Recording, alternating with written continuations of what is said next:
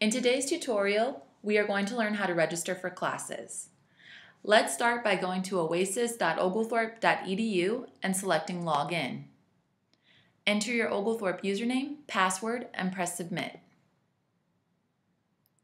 Select Oasis for Students from the menu, and then New Student Planning, View Plan and Register. This will open a new tab in your browser and take you to your student planning homepage.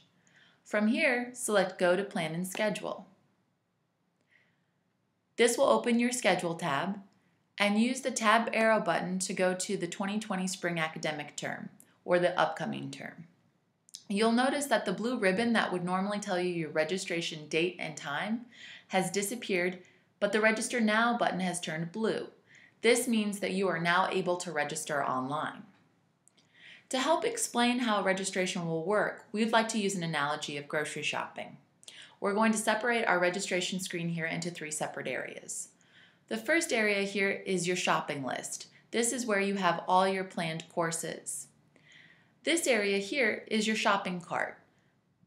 And then the Register Now button here at the top is the checkout line. Now, the first thing you want to do when you go grocery shopping is create a shopping list. So to create the shopping list, you want to add your first choice courses and we would strongly encourage your second choice courses. Note that what we're saying here is courses, not sections.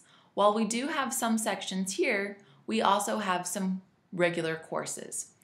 The reason for that is because if you try to add more than 19 credit hours worth of courses or sections, I'm sorry, to your registration, the system will process everything, but it will only register you for the first 19 credit hours it finds. That can cause some issues and it may mean you lose out on taking a class that you really want.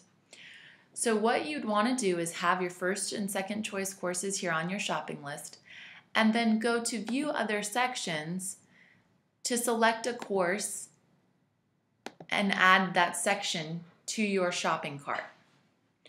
Once you've added all of the courses to your shopping cart, you're ready to go check out.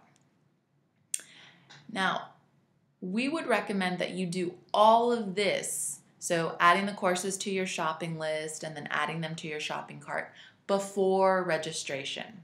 So if you're trying to do this the morning before registration at 6:45, you're probably going to run into some issues. We would recommend that you have these first and second choice um, second choice courses planned before you meet with your advisor.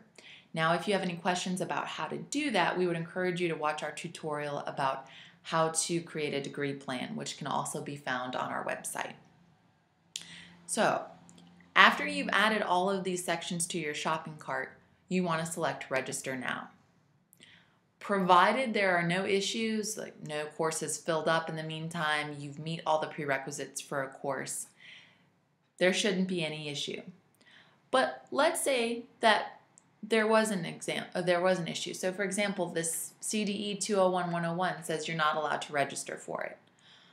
Okay, but it still processed my registration for everything else.